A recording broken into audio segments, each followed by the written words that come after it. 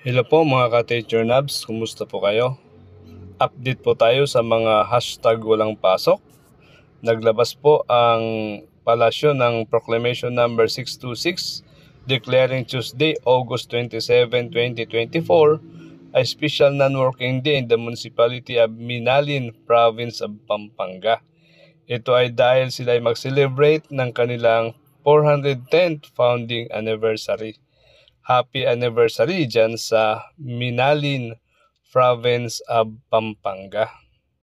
Ito pa po, Proclamation number 625 declaring Thursday, August 15, 2024, a special non-working day in the province of Bulacan. Ito ay dahil sila ay mag-celebrate ng kanilang founding anniversary sa August 15 din sa Thursday.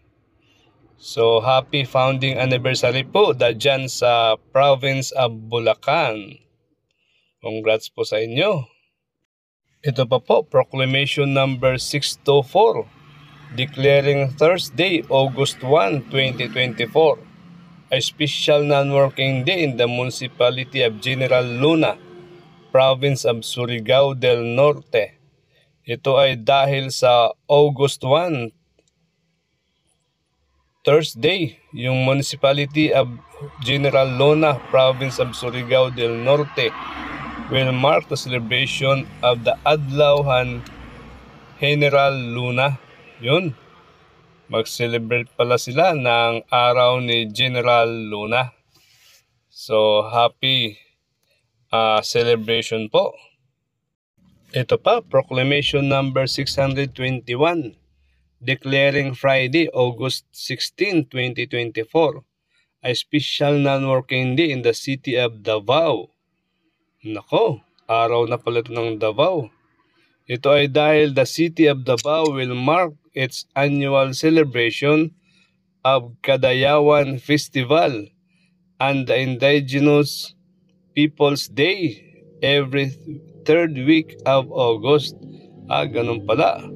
Happy 39 Kadayawan Festival and Indigenous Peoples Day dyan sa Davao City. Ito pa, Proclamation number 620 declaring naman Friday, August 30, 2024 a special non-working day in the city of Mandawi, province of Cebu. Hi Cebu!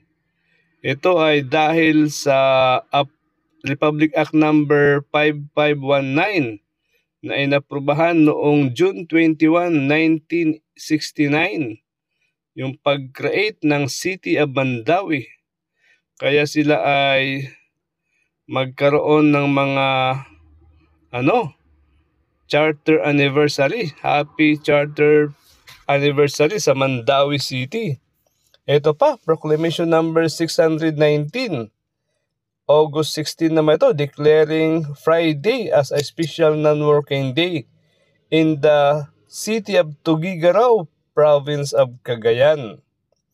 Ito ay dahil mismo sa August 16, Friday, the city of Tugigaraw, province of Cagayan will mark the celebration of ano ba yan, Pabu